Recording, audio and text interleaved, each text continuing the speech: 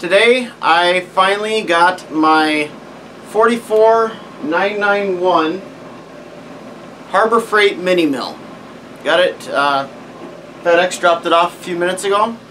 So, thought we'd do an unboxing and uh, see how big of a pain it is to set this up. So, let's see what it entails. Got this metal banding crap. Not sure how much it weighs, but it wasn't terribly light. So I'm pretty excited to get this. We've actually already got one, but I wanted another one in one of my other workshops, so this will kind of be our second one.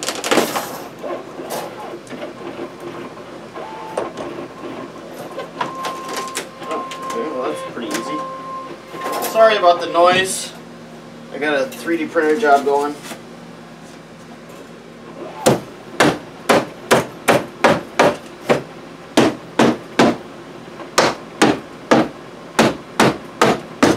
Whole box just appears to be kind of stapled together, so.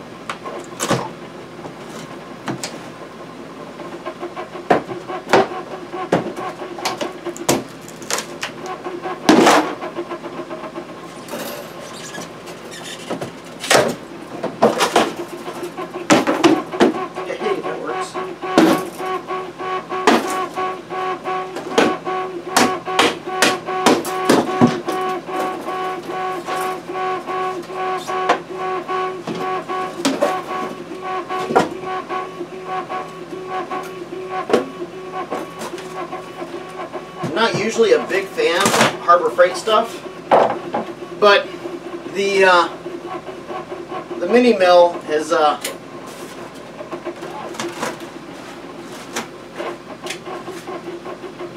the mini mill it's it's the same mini mill as a Grizzly or any of the other ones, so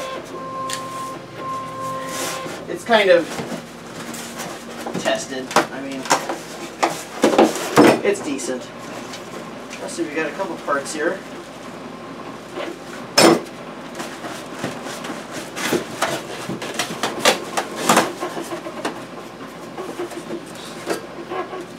Wrench and some instructions.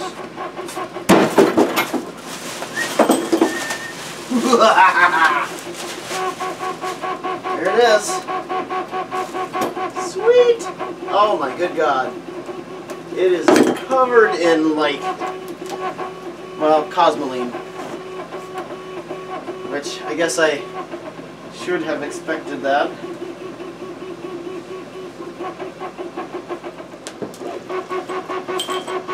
So it has definitely got some uh, cosmoline and it looks like a little bit of assembly to it. But not much. I mean, it's pretty much all together. Oh my goodness, jeez, they just piled it on. They do not want this sucker rusting.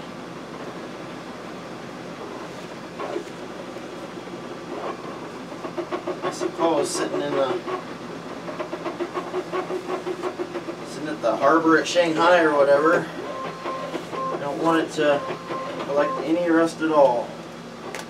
Man, it, it actually looks pretty nice what I'll be doing uh, here fairly soon is I will be converting this to a belt drive and uh, adding uh, digital readout to it, um, which will make it even more useful.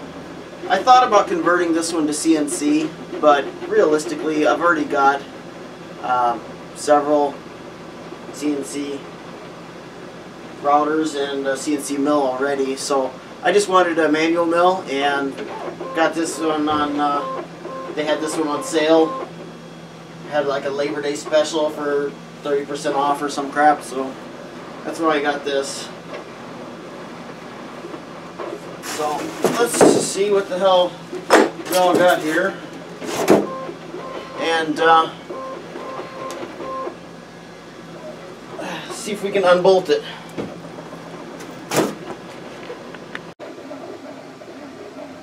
Alright, so I just wanted to give you a close-up, show what it looks like in the box. Came with this little package of uh, miscellaneous crap. Oh, yes. Little squirty thing for oiling, I guess. I don't know. Always wanted one of those. It's like some T-nuts, some miscellaneous bullshit. Of those. Thank God. All this has got a layer of oil on it because, you know, plastic rusts. So, yeah, I guess that's handy. You know, it does come, just, it does come shipped with a chuck, which is super useful in a mill because, you know, every mill should have a chuck. I mean, that's usually, I would think, for drill presses, but what do I know? It's essentially a expensive drill press with an XY table right now. But I will be uh, turning it into something that should be pretty cool. So let's see here. Yep, it does come screwed down to the wood. And as you can see, it is full of Cosmoline. So we're going to have to get that all wiped down and cleaned up.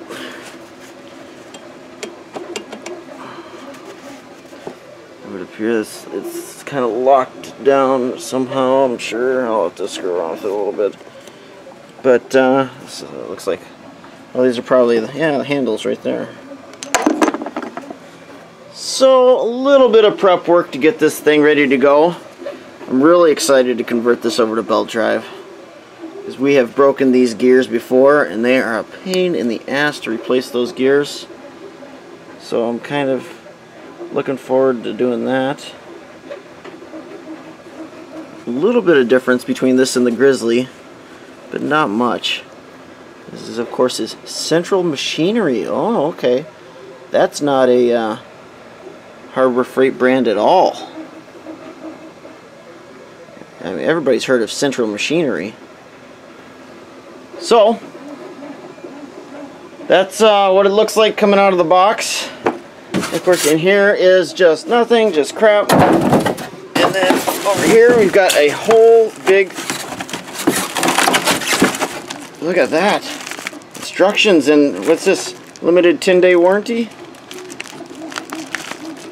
Oh, one year, 90-day warranty. Look at that. Totally useful, because I would want to spend all the time shipping this back. Probably spend more money shipping it back than... Oh, look at that fancy spancy safety. You should always always have safety stuff. So yeah we'll totally be installing that OSHA. So anyway that's uh, part uno of getting my mill set up. And uh, I will I'll make another video when it comes time to install the DRO and all that fun stuff.